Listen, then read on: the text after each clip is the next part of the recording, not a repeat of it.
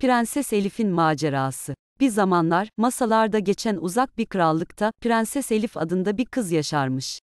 Prenses Elif, meraklı ve cesur bir ruha sahipti.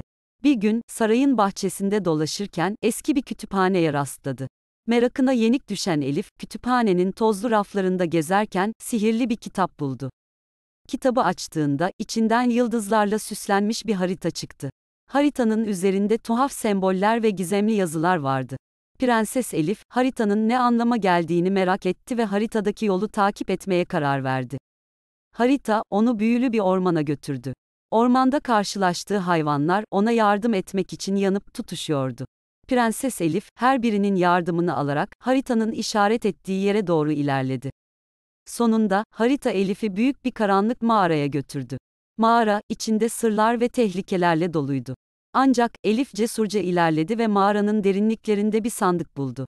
Sandığın içinde, krallığın kayıp hazineyi bulabileceği sihirli bir taş vardı. Prenses Elif, taşı alıp krallığa geri döndüğünde, insanlar ona büyük bir minnettarlıkla sarıldılar.